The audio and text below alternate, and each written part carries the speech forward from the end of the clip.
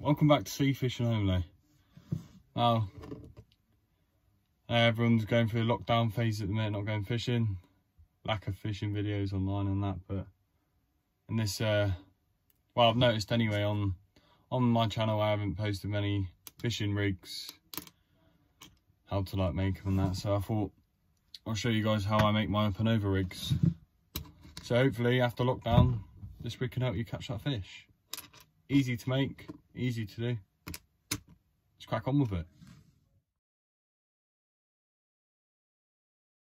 Right, okay, so once you've got all your components together, just going to grab uh, the line for your rig body. For my rig body, I'm just using 50 pound amnesia, about four foot long.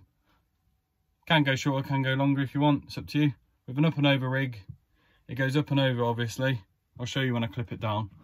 But your your hook trace, so from your swivel to your hook, that can be the length of the body and half.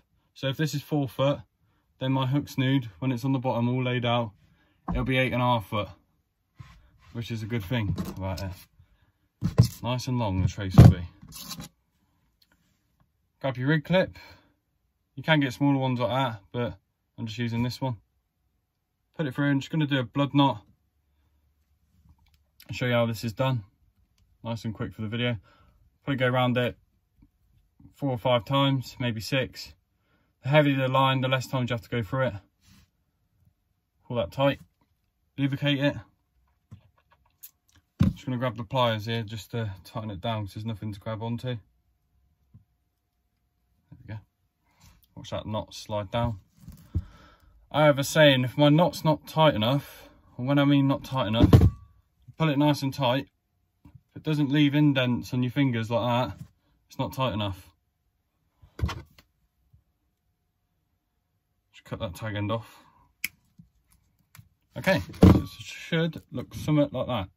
That's just a start. And then, I'm gonna grab a bead. I'm just using a squishy bead. Don't have to be massive beads. There we go, it's just a tiny little squishy bead. That goes on. And then an imp. You can just use a normal weight clip. If I can show you one. I haven't got one anywhere, but you know what you clip your weight onto. You can just use that if you want. So I'm just going to put my swivel on here so it can move a bit more freely. Like that, swivel's on. That goes on through the swivel. Line goes straight through it. And then another bead. It should look somewhat a bit like that. So you've got your rig clip, your bead, swivel, clip to your imp or weight. You can just use a weight if you want, it's up to you. And another bead. Right, so next step, just gonna make the snood. Got your swivel there, just tie it on like that. This is about six and a half foot, seven foot maybe. And then I'm just going straight down to my hooks. Here I've got a Cox and Rule Specimen X 2.0 and a 1.0 Cox and Rule Specimen X 1.0 there. And I've all I've done is I've just used a bit of this rubber tubing. I don't think it's what you use it for, but it works like a dream for me. I can't find it nowhere, but I'll show you. A bit of rubber tubing like that. I just put that on and it holds a line on it more firmly. And when you wrap it round like that, that's secure. That ain't going nowhere. Look, I'm pulling on that. What I find when you cast out sometimes, you you know, your panel just flicks around all over the place. So there's a little tip for you guys there. Hopefully that'll work.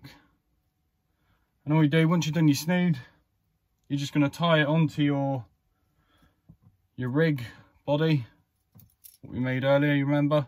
The other end, you've got nothing there. Just tie your other end of your swivel onto that. Blood knot it again. There is other knots out there, but to do this one quickly.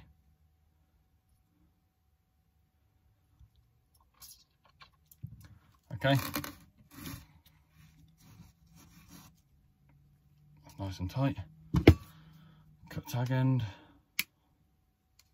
there you go, that is one complete up and over rig. I'll show you how that clips down. Fish that and you'll be laughing. Pinned it here so I can show you what I'm doing. Right where my thumb is, where that pin is. your shock lead or your main line is going to come straight down and tie straight onto there. You can put a swivel on and tie it onto there, that'll be more ideal. So, just going to show you how to clip this down. Come down here, please don't get confused about all the leads. But here's the lead here I'm using. If it will let me get it out, just pop that on there. So you grab your hook snood, that's where your swivel is, remember? Grab your hook snood, pull that up. It's coming up, hence where it's got its name from. And it will go over, we'll go over that like pointy bit here. You see it's gone over? And then you'll just pull it down like so. You see that lead coming up? It doesn't get caught on anything. And you're just going to clip that onto your imp. Right there. And look at that. How easy was that? That's all clipped down, ready for casting. That's what it looks like there. obviously when it hits the water, this bad boy's going to ping up like that. See that falling down now? which is also going to release that off there. It's just caught on here a minute. Releases that, you hear the lead hit the bottom, comes off there, flows down nicely. And look at how long that trace is. That trace is coming all the way from there to like the end of like the room pretty much. But yeah, that's the up and over rig, guys. Absolutely brilliant. Right, and that's how you do it. Absolutely easy. Don't need any special parts on that that's how I make it. I know other people make it differently, but that's how I do it. So, and it works for me. I've caught fish on it in the past. I ain't caught a ray on it yet, but hopefully I'll get one. Yeah, if there's any NHS workers out there or any essential workers, thank you very much. You're doing very well for the country. And yeah, that's all I've got to say, guys. Just please stay safe and um, yeah, more fishing videos will come out when we get back out fishing. Have a good one.